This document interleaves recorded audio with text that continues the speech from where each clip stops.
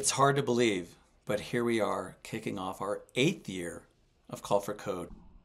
Call for Code is a unique global tech initiative as it creates a platform of hope and possibility, one that inspires and empowers developers and problem solvers from around the world to use their time and talent to innovate for social good.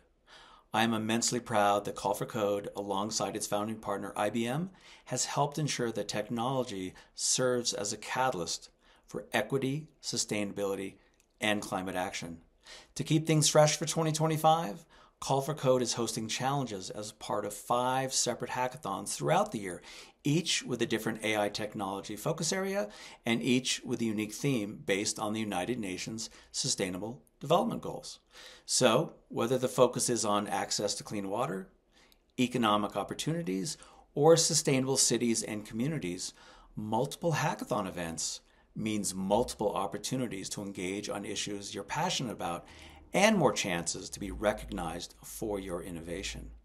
And at the end of the year, top teams from these five hackathons will compete for the $50,000 grand prize and other exciting opportunities like open source support from the Linux Foundation. So we're grateful to everyone who has participated over the years, and we're excited to see what new innovations emerge in this year's program. Best of luck, and thank you for answering the call.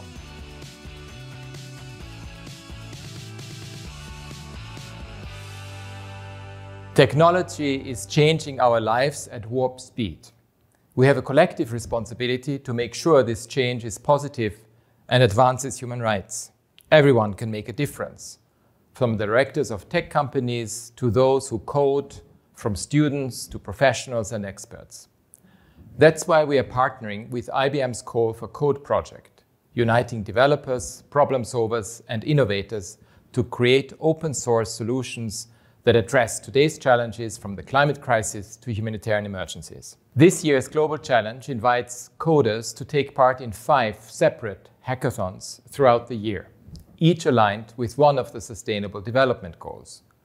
I call on all socially minded coders who want to make a difference to answer the call for code.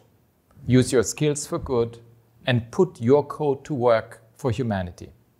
Innovation needs human rights, and human rights needs innovation more than ever. My thanks to everyone for backing this important project.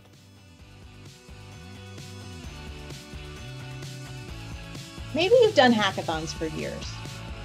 Or maybe you're new to these sorts of competitions. Either way, you may be asking yourself, why should I participate in Call for Code? Well, Call for Code offers developers unique opportunities to get hands on with generative AI so you can grow your skills, to create solutions that drive real change for communities around the world, and to get recognized for your innovative ideas.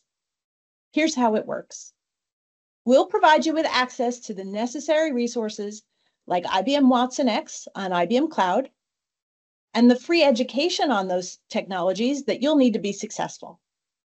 We'll ask you to imagine how that tech can solve some of the world's biggest everyday problems. You'll network with a global community of problem solvers, and you can form a team of up to five people.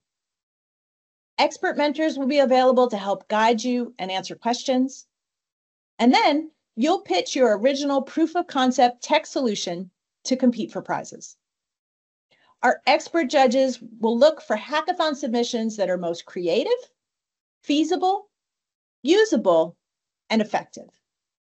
The top team in each qualifying hackathon can win 5,000 US dollars, IBM Cloud credits, and complimentary passes to the IBM TechXchange Conference 2025 in Orlando, Florida.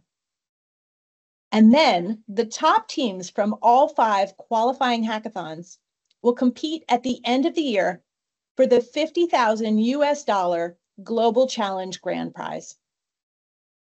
Check out the QR code on screen and visit the Call for Code Global Challenge website to learn more and sign up for any of this year's qualifying hackathons.